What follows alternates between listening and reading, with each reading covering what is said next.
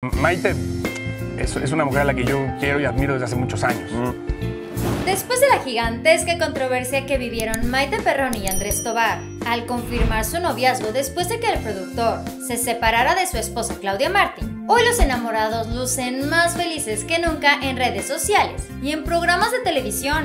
Aunque en octubre del 2021 Maite fue la que dio a conocer su relación con Andrés Tobar en su cuenta de Instagram. Hasta la fecha, Andrés no había mencionado cómo era su relación con la ex RBD, fue así que en una reciente entrevista, con motivo del aniversario del programa Sale el Sol, Andrés nos abrió su corazón y nos dio algunos detalles de su relación con Maite. Maite es la persona más especial en mi vida.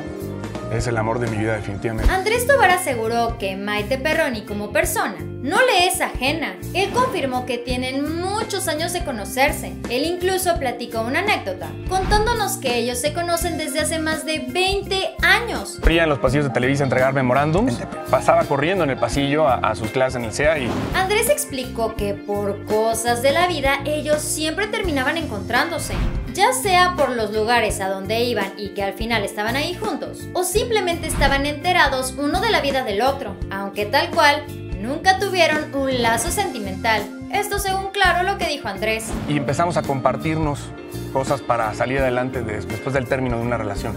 Andrés Tobar explicó que precisamente hace poco ambos estaban viviendo la etapa de haber terminado una relación. Los sentimientos, claro que estaban a flor de piel. Por esta razón, ambos pudieron conectar de una forma mucho más sincera. Hoy por hoy, Andrés Tobar asegura que es el hombre más feliz de la Tierra. Que él, claro, honra, valora y venera todas sus relaciones anteriores. Que las agradece, claro, pero que él definitivamente piensa que Maite Perroni es la mujer más hermosa. En esta etapa maduros, ya eh, claros, digamos, eh, Vale la pena recordar que hace poco Maite Perroni nos dio a conocer que su tierna etapa en RBD ya quedó atrás. Maite publicó unas fotografías bastante sensuales al lado de su novio, las cuales rápidamente se volvieron tendencia por todo internet. En esas imágenes, Maite Perroni escribió: Mi cuerpo, mi Instagram, mi vida 2022. Desde la primera fotografía, los seguidores de Maite le empezaron a hacer notar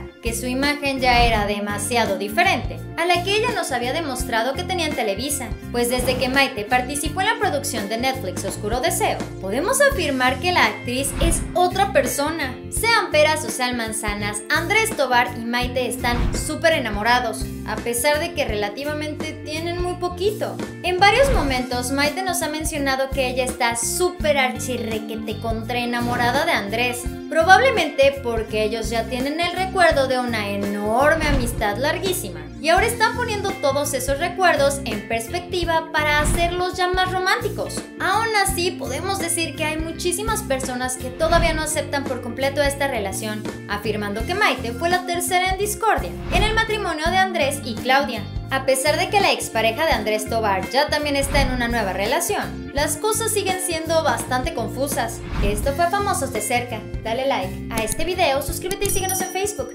Espero que tengas un excelente día. Nos vemos muy pronto. Bye.